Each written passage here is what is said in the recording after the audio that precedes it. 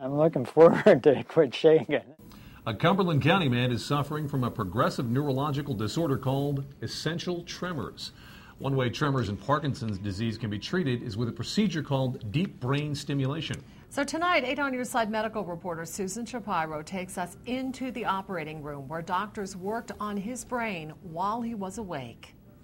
Paul Kressler was an avid hunter and fisherman. Now the Camp Hill man can barely hold a glass of water because of his essential tremors. It's not fun.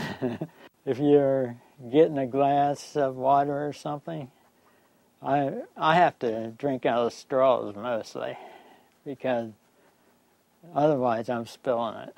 Paul and his wife Ann were married 45 years ago, and his decline has been difficult. I keep looking at him and thinking, that's not the guy I married.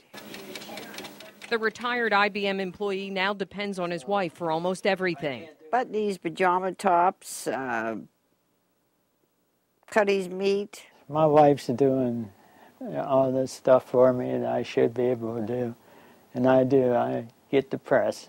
Paul is now heading into the operating room at Penn State Hershey for a procedure called deep brain stimulation.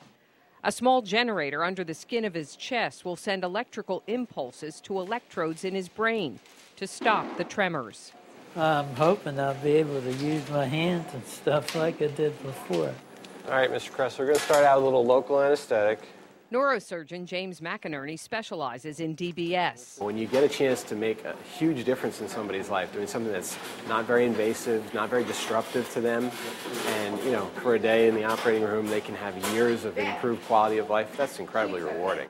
During the procedure, he will implant the electrodes in Kressler's brain while the 70-year-old is awake. Let me know if you feel anything. So this is now the, the recordings that we're going to get from his brain. Neurophysiologist Terry Patterson monitors Kressler's brain activity to make sure the electrode ends up in just the right spot. Some more activity right there. That's 24 down. We're six above target. Okay, that's right at target. The microelectrode that was inserted in Kressler's brain is very tiny, just two microns. You can barely see it without a microscope. It's at the end here. To give you an idea of just how small that is, one strand of hair is about 50 microns. Any tingling? Any pins and needles? With the stimulator at one volt, Kressler's hands are steady. And how many fingers? Patterson runs through some standard neurological tests and phrases to make sure Kressler doesn't have any side effects like slurred speech. The ragged rascal ran. The ragged rascal ran. All right, good. Open and close your hand for me. After about an hour and a half, the team is satisfied that once the generator is turned on permanently, Kressler will no longer have the tremors he has endured. Hopefully, he'll have a better quality of life that will include hunting and fishing. Susan Shapiro on your side, News 8.